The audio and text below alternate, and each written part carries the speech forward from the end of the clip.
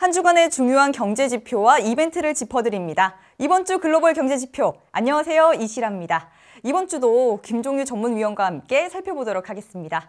네, 위원님, 이번 주 가장 주목할 만한 이벤트와 또 결과는 무엇이 있을까요? 네, 뭐 삼성전자의 실적 발표도 있었고, 어 그리고 우리가 이제 주목하고 있는 어 미국의 이제 실업률은 뭐 저녁에 나오겠지만 어쨌든 이런 중요한 이벤트에 불구하고 제가 이번 주에 가장 주목한 것은 지난주에 말씀드렸던 대로 과연 이 두 가지가 어떻게 될 것이냐가 관건이었다.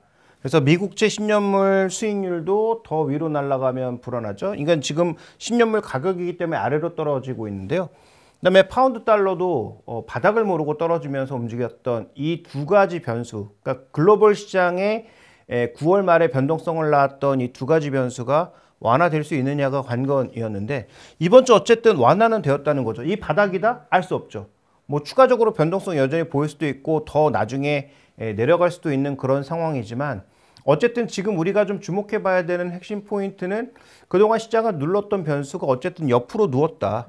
그러면 우리 지수도 계속 내려가기만 하지는 않고 옆으로 누울 가능성은 자연스럽게 높아지는 거고요. 그래서 최근에 반등도 어, 그러한 관점에서 좀 이해를 하면 되지 않을까 이렇게 보고 있어서 어쨌든 이번 한 주 뭐 여러 가지 중요한 이벤트들이 많이 있었지만 가장 중요한 것은 시장이 우려했던 새로운 악재가 어, 더 추가적인 악재로 확대될지 여부에 대해서 고민이었는데 이게 완화되었다라는 것을 가장 중요하게 봐야 될 것 같고요. 그래서 이게 이제 옆으로 눕거나 V자로 이제 급하게 올라가는 상황이 예, 보여진다면 그러면 국내 증시 혹은 뭐 글로벌 증시도 조금은 더 어, 우상향으로 움직일 수 있겠다. 다만 그 상방은 제한적일 수 있다. 이렇게 봐야 될 것 같습니다. 네.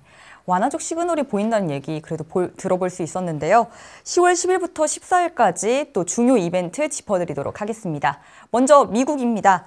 11일 아마존 2차 프라임데이가 개최될 예정이고요. 2일 동안 12일까지 개최됩니다. 그리고 메타에서도 VR 컨퍼런스가 개최되고요. 12일에는 FOMC 9월 의사록이 공개됩니다. 그리고 9월 PPI도 발표될 예정입니다.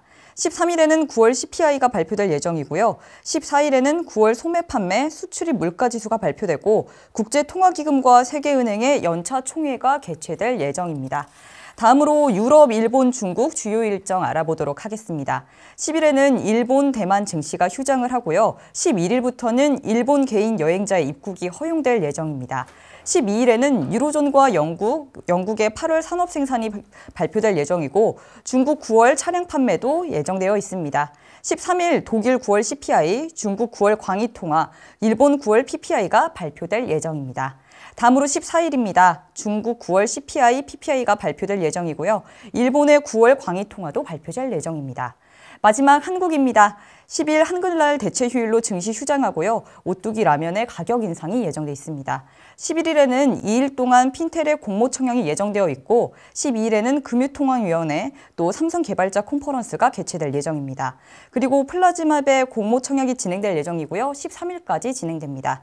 13일은 옵션 만기일입니다. 그리고 케이카 메이슨 캐피탈의 보호 예수가 해제될 예정입니다. 14일에는 9월 수출입 물가지수와 고용 동향이 발표될 예정이고요. OSP가 신규 상장될 예정입니다. 그리고 영창케미칼과 웨이버스의 보호 예수가 해제될 예정입니다. 네, 이렇게 주요 일정 브리핑 해보았는데요. 이 중에서도 가장 주목해야 할 건 무엇일까요? 네, 자 일단 지난주가 말씀드렸던 대로 어, 시장을 이제 그 거시적으로 위험에 빠뜨렸던 그런 지표들이 완화되는 모습을 보였으니까 이제부터는 실적이라든지 각 산업의 동향이라든지 이런 것들이 중요해지는 상황이란 말이죠. 자, 그럼에도 불구하고 우리가 짚고 넘어가야 될 두 가지 변수는 있는데요. 어, 무엇보다 이제 미국의 9월 CPI가 정말로 의미 있는 어떤 반전 시그널을 주느냐. 이게 이제 중요하겠죠. 어, 우리가 이제 고용 지표를 통해서 알 수 있었던 것은 뭐 좋기는 한데 여전히 뭐 과거 대비해서 굉장히 좋기는 한데 속도 조절을 좀 하고 있는 것 아니냐라는 엇갈리는 그런 지표들을 계속 발견할 수 네. 있었던 것처럼 과연 9월 CPI에서 확실하게 꺾여 내려가면 더 좋겠지만 그렇지 않다고 하더라도 야 굉장히 탄탄하게 올라오고 있으니까 앞으로 뭐 금리 떨어질 거라는 생각 하지도 마 이런 시그널을 던져주면 어쨌든 시장의 반등에는 제약 요인이 되잖아요. 네. 뭐 추가적으로 하락은 안 한다고 하더라도 그래서 9월 CPI의 이제 흐름은 뭐 지켜볼 필요는 있겠고 무엇보다 이제 가장 중요한 것은 금통위라고 봐야 되겠죠. 그래서 우리 금통위가 과연 50bp를 선택하느냐, 75bp를 선택하느냐에 따라서 단기적으로 뭐 금리와 민감한 금융업종 변동성도 있을 수 있고요. 그다음에 뭐 외국인 수급이라든지 이런 것들의 변동성이 있을 수 있으니까 이 부분을 한번 주목해 보실 필요가 있겠고 그다음에 이제 제가 세 번째로 좀 주목하고 있는 것은 이 두 가지 아, 네네. 이렇게 빨간색으로 표시해 놓은 두 가지라고 봐야 될 텐데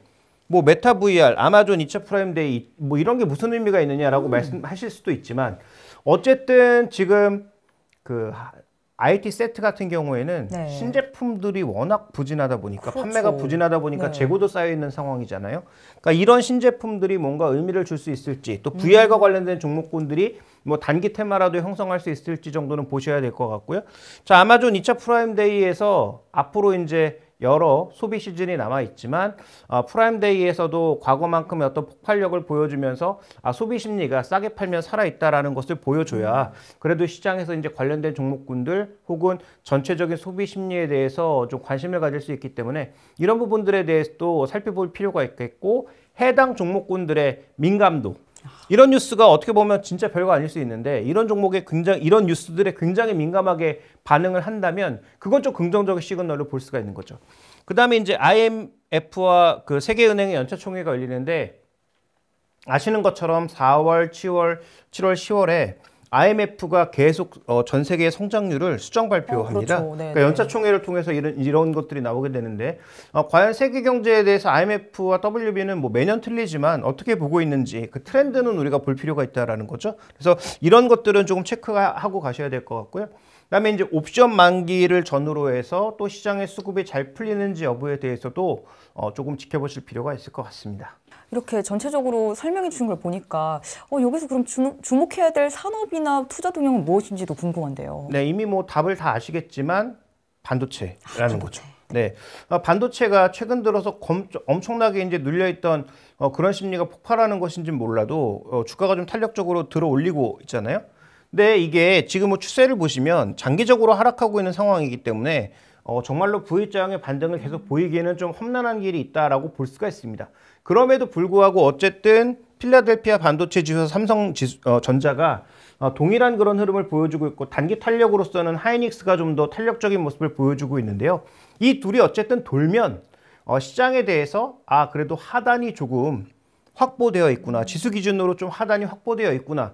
또 이들이 조정을 받을 때 조정을 받는다고 하더라도 굉장히 견조하게 조정을 받으면서 아 최소한 저점은 확인했고 여기서 이제 옆으로 눕는다라는 어떤 시그널을 준다면 시장에서 개별 종목이라도 움직일 수 있는 그래서 뭐 가능성은 두 가지죠.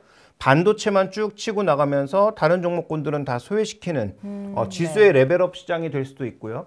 아니면 이들이 버텨주면서 어, 개별 종목군들의 순환이 빠르게 도는 그런 장세가 올 가능성 두 가지 모두 열려 있다라고 봐야 되는데 어쨌든 그 두 가지 가능성을 열려면 반도체가 올라야 된다라는 거죠. 그래서 우리뿐만 아니라 글로벌 반도체 시장이 전반적으로 살아난다라는 시그널을 줘야 됩니다. 왜냐하면 지금은 어, 2021년에는 삼성전자만 무너지는 한 해였다면 2022년에는 반도체 전반이 뭐 장비, 재료, 소재 가릴 것 없이 그 통합적으로 무너지는 한 해였잖아요. 네. 그러니까 이번엔 다 같이 살아나야 된다는 거죠. 그래서 과연 그런 모습을 보인다면 어, 시장의 지수가 버티든 아니면 개별 종목의 순환매가 돌든 어쨌든 시장의 분위기가 살아날 수 있기 때문에 어, 이번 주, 그러니까 다음 주죠. 다음 주부터는 이 삼성전자의 전반적인 어, 움직임, 또 필라델피아 반도체 지수의 저점 확인이 좀더 명확하게 나타나는지 여부가 굉장히 중요하다. 이렇게 봐야 할 것 같습니다. 네. 이렇게 반도체 섹터를 좀 더 주목해서 필라델피아 지수를 봐야 된다는 얘기도 들어볼 수 있었는데요. 이 밖에도 주목해야 될 변수가 있다면 또 짚어주면 좋을 것 같은데요. 네, 이번 그러니까 이제 돌아오는 주에 옵션 만기가 있다라고 말씀을 드렸는데 뭐 옵션 만기가 그렇게 뭐 중요한 것은 아닙니다만 그와 더불어서 우리가 살펴봐야 될 기계적 수급. 그동안 시장에 이 수급이 얇아서 기계적인 수급이 매수가 들어오면 좀 올랐다가 기계적인 수급이 매도가 나오면 빠지는 네. 그런 굉장히 취약한 양상을 보여주고 있는데 그러면 우리가 여기서 지금 계속 질타하는 매매 주체가 하나 있죠. 연기금. 장기 투자자인데 너희들 뭐 하는 거냐라고 계속 이제 손가락질을 하고 있는데요. 그러면 연기금이 지금 굉장히 제한적으로 움직이고 있지만 연기금만큼은 아니더라도 시장에 하단을 받쳐줄 수 있는 누군가가 등장한다면 굉장히 반가운데 네. 이미 뉴스에서 여러 번 언급이 됐죠. 증한 펀드가 언제 가동되느냐 여부가 굉장히 중요합니다. 네. 근데 과거에 이제 두 번 가동된 적이 있었는데 그때는 일평균 거래대금보다도 굉장히 작은 규모여서 뭐 하는 거냐 이게 증한 펀드가 들어와봤자 이게 소용이 있겠느냐 이렇게 이제 반문할 수 있겠지만 자 이번에는 일평균 거래대금을 뛰어넘는 정도의 수준이란 말이죠. 지금 일평균 거래대금이 많이 줄어들었기 때문에 나타난 현상이기도 하겠지만 어쨌든 이 증한 펀드가 증시를 끌어올릴 가능성은 작다고 봐야죠. 근데 어쨌든 하단을 받쳐준다라는 시각이 들면 공매도를 할 이유가 없어집니다. 왜냐하면 수익이 나기가 힘든데 위험을 지고 공매도를 할 이유가 있습니까? 뭐 우리는 어, 무차익 공매도가 할 수 없는 뭐 무차익 공매도를 뭐 불법적으로 하는 세력들이 있다. 뭐 그 얘기는 차치하고 네. 우리는 법상으로 무차익 공매도를 할 수 없는 상황이죠. 그러니까 차익 공매도를 하는 사람은 금리 부담도 져야 되는 상황입니다. 그런데 만약에 수익률이 제한되어 있다라는 게 판가름이 되면 과연 할까요? 안 할 것 같은데요. 그러면 아까 얘기했던 반도체도 한번 연결해 보죠. 외국인을 포함한 그동안 가장 공매도 하기 쉬웠고 공매도가 많이 나왔던 종목들이 뭡니까? 반도체거든요. 네. 그 증한 펀드가 움직이고 증한 펀드가 지수의 하단을 잡아준다라고 생각이 들면 최근에 외국인들이 기관들이 반도체에서 왜 도망가는지 여부도 왜 환매수하는지 여부도 우리가 생각해 볼 수가 있는 거죠. 그러면 삼성전자가 바닥을 받쳐주고 증한 펀드가 들어온다라는 시그널이 되면 개별 종목에 대한 공매도는 이어질 수 있지만 지수 전체에 대한 공매도의 압력은 줄어들 수 있다는 거죠. 그래서 이건 우리가 이제 언제 시행될지 여부와 더불어서 얼마만큼의 강도로 들어오는지 여부를 굉장히 좀 주목해 봐야 될 것 같습니다. 뭐 제 생각에는 아마 들어온다면 어, 코스피 한 뭐 100내 그래도 좀 거래 대금도 있고 지수를 받쳐줄 수 있는 그런 종목군들로 어, 인덱스 형태로 들어올 가능성이 높아서 어, 시가총액 대형주들 중에 너무 낙폭이 커진 종목군들이 있다면 어, 이런 종목군들의 되돌림도 나타날 수 있는 요소여서 이게 이제 언제 나올지 여부에 대해서도 우리가 한번 어, 좀 주의해서 살펴봐야 될 것 같습니다. 아, 군부를 어, 피운 만큼 네. 곧될 텐데요. 만약에 이제 이 정책 당국자가 증시가 한번 더 빠질 것 같아서 혹은 여기보다 더 싸게 사고 싶어서 이거 계속 주저주저 하면 나중에 나의 효과가 없습니다. 그래서 어, 얘기가 나왔을 때 빠르게 집행하는 것이 그리고 힘있게 집행하는 것이 시장에 뭔가 시그널이 될 수 있다라는 관점에서 앞으로 이 부분도 우리가 지수의 저점과 더불어 주목해 봐야 될 포인트로 판단하고 있습니다. 네, 잘 들어봤습니다. 이번 주 경제 주요 일정과 이벤트를 살펴보며 또 증한펀드의 시기와 역할을 주목해야 된다는 얘기 잘 들어볼 수 있었습니다. 저희가 소개드린 정보를 바탕으로 현명한 투자하시길 바라겠습니다. 지금까지 이번 주 글로벌 경제지표였습니다. 본 방송에서 제공되는 투자 정보는 단지 투자 판단에 대한 참고임을 밝혀드립니다. 상품 및 부동산의 가치, 가격 상승 및 가격 하락에 대해서는 인포스텍 데일리와 진행자, 출연자가 보장하지 않습니다.